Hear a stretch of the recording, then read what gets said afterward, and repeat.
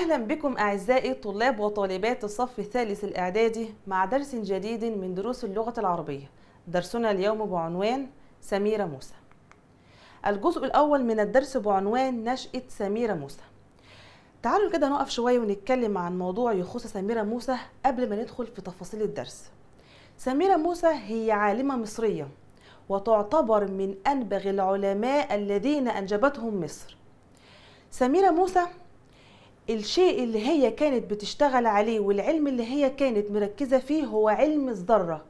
طب هتستخدم الذرة في إيه؟ في علاج مرض السرطان يبقى إحنا هنعرف النهاردة بعض المعلومات عن سميرة موسى من أول النشأة حتى تكريم سميرة موسى وهنعرف ليه كمان فكرت في علاج مرض السرطان فالجزء الأول بعنوان نشأة سميرة موسى. ولدت سميرة موسى عام 1917 ميلاديا بقرية سيمبو التابعة لمركز زفتة بمحافظة الغربية. وتلقت تعليمها الأولي بكتاب القرية حيث أتمت حفظ القرآن الكريم وظهر نبوغها في المدرسة الأولية بالقرية. وبدأ حبها الشديد للعلم والمعرفة ورغبتها في الكشف عن الغوامض. وأدركت سميرة موسى أن العلم هو الهدف والرسالة والحياة. فاتخذت قرارها مبكرا العلم أولى من كل شيء وأي شيء. ثم انتقلت سميرة موسى مع أسرتها إلى القاهرة حيث أتمت تعليمها الثانوي وأصرت على دخول الجامعة وأمام إصرارها وافق والدها على قرارها. طيب بعد ما قرأنا القطعة تعالوا نبدأ باللغويات. وتلقت. يعني لما أقول أنا أتلقى تعليمي في المدرسة إذا معنى كلمة تلقت يعني أخذت وتلقنت وظهر نبوغها. عندي طالب في الفصل فبقول ده طالب نابغ أو عنده نبوغ. نبوغها يعني براعتها وإجادتها مضادها تأخرها. في المدرسة الأولية كلمة الأولية المراد بها المدرسة الابتدائية. وبدأ حبها الشديد للعلم. بدأ. أنا شفت حد كده فرحان فبقول له إيه؟ يبدو عليك السعادة. اذا بدا معناها ظهر ومضادها اختفى. ورغبتها في الكشف عن الغوامض. إحنا لما يكون في حاجة بالنسبة لنا مش واضحة بنسميها إيه؟ بنسميها غوامض. اذا الغوامض معناها الأمور الخفية الأمور اللي مش واضحة ومفردها الغامض. وأدركت سميرة موسى. أدركت. أدركت معناها فهمت وعرفت ومضادها جهلت. العلم أولى يعني عندما أقول المذاكرة أولى من كل شيء إذا معناها أحق وأهم. آه ثم انتقلت سميرة موسى مع أسرتها إلى القاهرة حيث أتمت. أتمت تعليمها الثانوي. أتمت معناها أكملت تعليمها الثانوي. طيب بعد ما قرأنا القطعة وعرضنا اللغويات ننتقل إلى الشرح. قلنا الفكرة الأولى كانت بعنوان إيه؟ نشأة سميرة موسى. نشأت فين؟ وإيه قصتها؟ وإيه حكايتها؟ ولدت سميرة موسى عام 1917 إذا المولد كان عام كام؟ 1917 ميلاديا. البنت دي كانت عايشة في قرية. القرية كان اسمها قرية سيمبو. القرية تابعة لمركز المركز اسمه مركز زفتة بمحافظة الغربية. يبقى إحنا كده عرفنا المكان وعرفنا الايه الزمان. سميرة موسى زيها زي أي طالب في السن ده أو في المرحلة دي تلقت تعليمها الأولي بكتاب القرية. كلهم زمان كانوا بيتعلموا في كتاب القرية. الكتاب الكتاب اللي هو المكان اللي إحنا بنحفظ فيه القرآن الكريم. وبالفعل سميرة موسى أتمت حفظ القرآن الكريم. بعد كده انتقلت للمدرسة الابتدائية وكل المدرسة كانت بتتكلم عن تفوقها. بعد كده سميرة موسى بدأ المدرسين نفسهم يلاحظوا إنها عندها حب شديد للعلم والمعرفة ورغبتها في الكشف عن الغوامض. عشان لما يجي لنا سؤال في الامتحان ويقول ماذا بدأ على سميرة موسى؟ نقول بدأ عليها حب الشديد للعلم والمعرفة والرغبة في الكشف عن الغوامض. دايما بتحب إنها تبحث عن أي شيء مش واضح ومش ظاهر. سميرة موسى بعد كده أدركت أن العلم هو الهدف والرسالة والحياة. إحنا بنتكلم في عام 1917 يعني فترة كان كل الجيل اللي في سنها ما بيفكرش في العلم. سميرة موسى كانت من البنات اللي هي بتحب تفكر في العلم جدا. عشان كده أدركت هو أن العلم هو الهدف والرسالة والحياة. فممكن يجي لي سؤال في الامتحان ماذا أدرك سميرة موسى؟ عرفت إيه سميرة موسى؟ إن العلم بالنسبة لها هو هدفها في الحياة. وهو الرسالة وهو حياتها. ما تقدرش تعيش بدون علم. عشان كده إيه اللي حصل؟ خدت قرارها بدري جدا وقالت إن العلم ده أهم من كل حاجة في الدنيا. فاللي حصل؟ إنها انتقلت مع أسرتها إلى القاهرة. وفي القاهرة أتمت تعليمها الثانوي. اذا معنى كده طول ما كانت هي بمحافظة الغربية بقرية سيمبو هي كانت في المرحلة الإعدادية. ثم انتقلت إلى القاهرة لكي تتم تعليمها الثانوي. طبعا سميرة موسى كانت عايزة تكمل دراستها لغاية لما توصل للجامعة وأعلى من الجامعة كمان. فأصرت على دخول الجامعة. أصرت على مين؟ أصرت على والدها. وطبعا والد سميرة موسى أمام إصرارها وافق على قرار دخول الجامعة. يبقى إحنا كده اتكلمنا عن نشأة سميرة موسى. ننتقل إلى الأسئلة المقالية عن الفكرة. السؤال الأول بيقول متى ولدت سميرة موسى وأين؟ متى بتسأل عن الزمن؟ فنقول عام 1917 ميلاديا. أين عن المكان؟ يبقى المكان فين؟ بقرية سيمبو التابعة لمركز زفتة بمحافظة الغربية. لازم كل الجملة دي تتكتب القرية والمركز والمحافظة. السؤال الثاني كانت سميرة موسى طفلة غير عادية. وضح كانت غير عادية ليه؟ لأن ظهر عليها حاجات ما كانتش موجودة في الجيل اللي في سنها. فنقول أتمت حفظ القرآن الكريم بكتاب القرية. سن صغير جدا وحفظت في القرآن الكريم. ظهر نبوغها في المدرسة الابتدائية بالقرية. الحاجة الثالثة كانت عندها رغبة في الكشف عن الغوامض. طبعا دي تعتبر مش موجودة عند أغلب الإيه الطلاب أو الأطفال اللي في سنها. السؤال الثالث ماذا أدركت سميرة موسى منذ الصغر؟ اللي عرفته وكانت متأكدة منه. أدركت أن العلم بالنسبة لها هو الهدف والرسالة والحياة تاني حاجة برضو أدركتها العلم أولى من كل شيء يعني أحق وأهم من كل شيء وأي شيء أين أتمت سميرة موسى تعليمها الثانوي؟ راحت فين لما راحت تتعلم التعليم الثانوي؟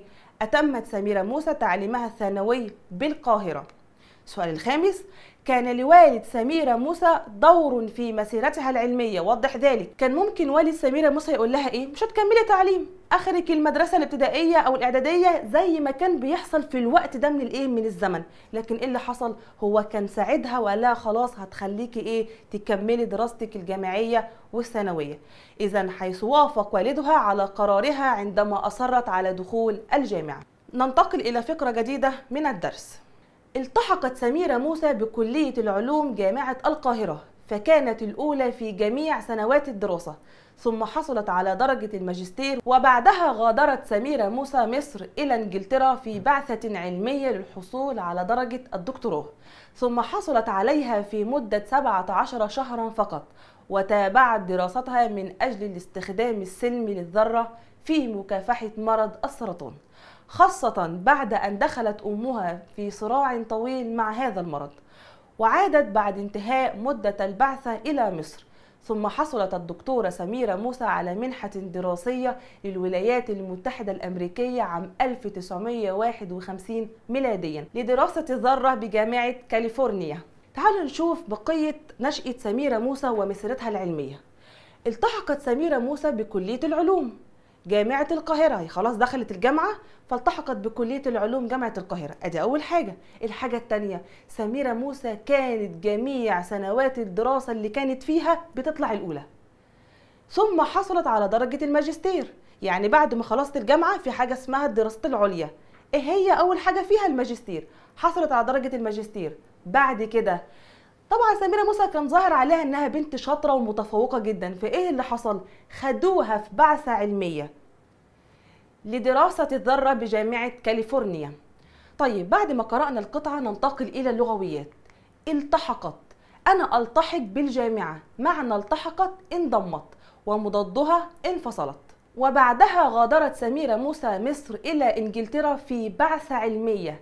بعثة معناها هيئة بترسل في عمل معين. في فرق بين بعثة زي بعثة الرسول في فرق بين بعثة. أي حد بيروح يرسل في عمل معين مجموعة كده بنسميها بعثة. جمع بعثة بعثات. طيب بعد كده للذرة في مكافحة.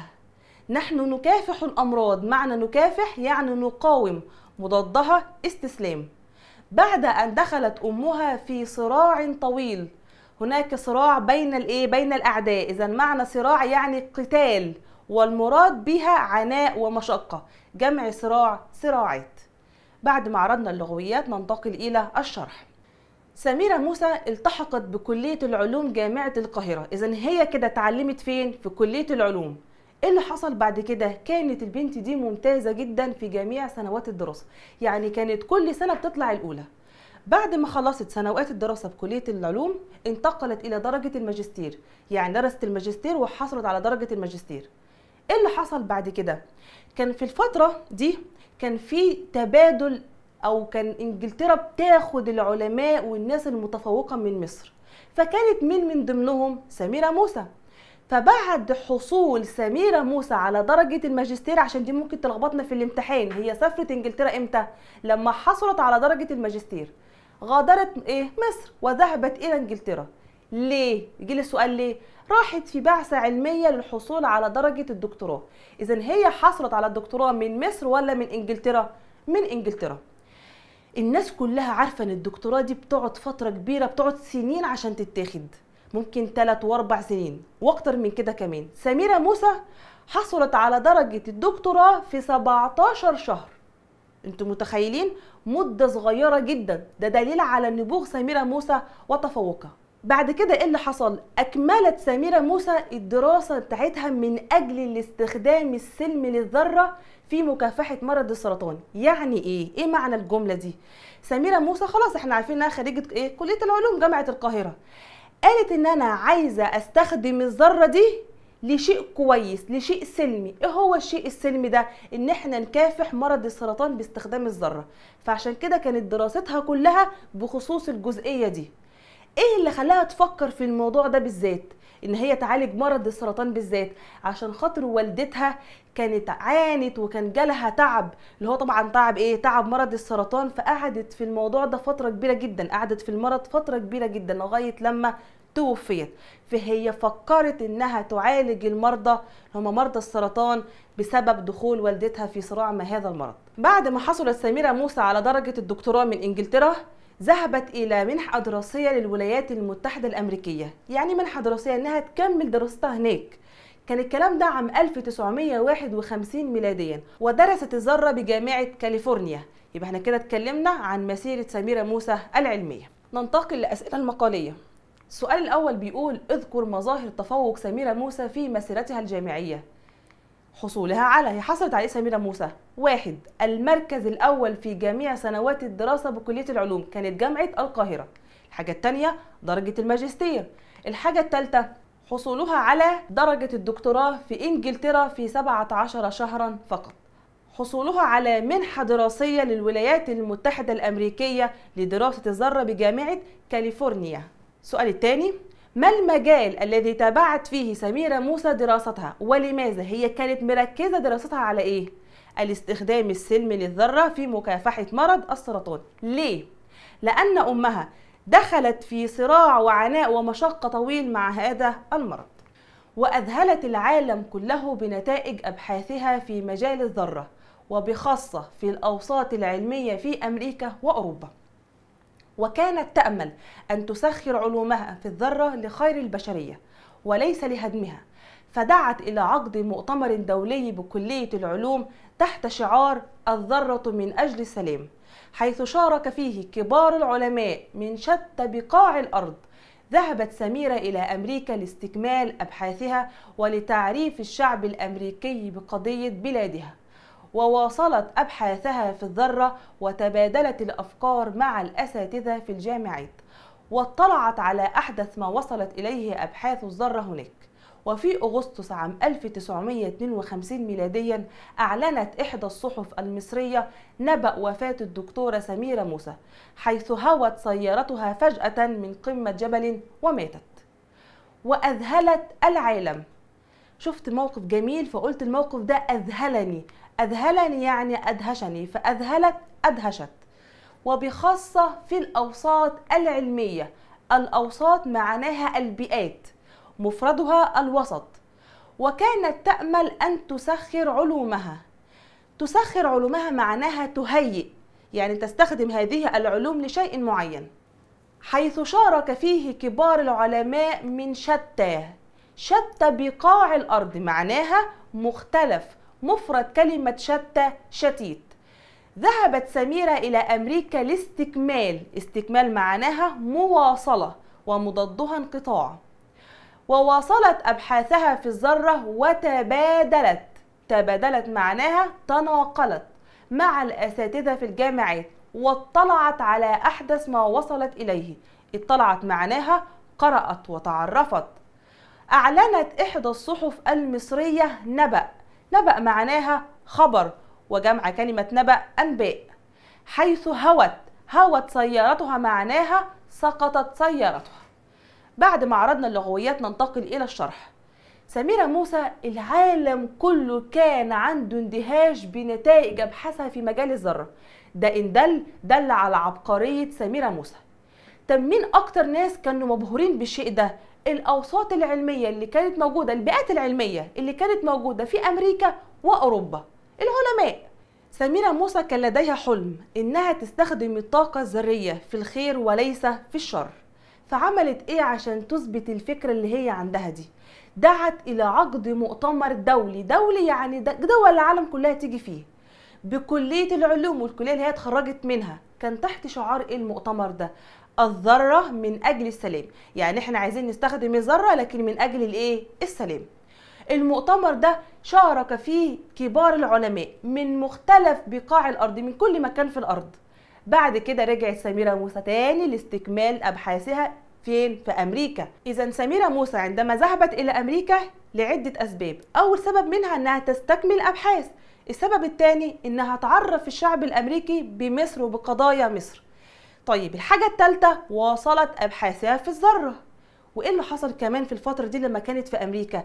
تبادلت الأفكار. إحنا طبعا علماء مع بعضنا فبنقعد إيه اللي يحصل؟ بنتناقل الأفكار مع بعضنا نتعلم من بعض. ده اللي عملته سميرة موسى هناك تبادلت الأفكار مع الأساتذة في الجامعات. وسميرة موسى وهي في أمريكا كانت بتقرأ وتتعرف على كل شيء جديد وصلت إليه أبحاث الذرة في أمريكا. جينا في أغسطس عام 1952 أعلنت الصحف المصرية نبأ وفاة الدكتورة سميرة موسى. إيه اللي حصل؟ سميرة موسى ماتت إزاي؟ السيارة بتاعتها وقعت من فوق قمة جبل وماتت. رحم الله العالمة الجليلة سميرة موسى. ننتقل بعد ذلك إلى الأسئلة المقالية.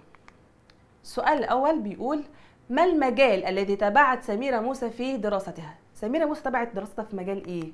الاستخدام السلمي للذرة في مكافحة مرض السرطان.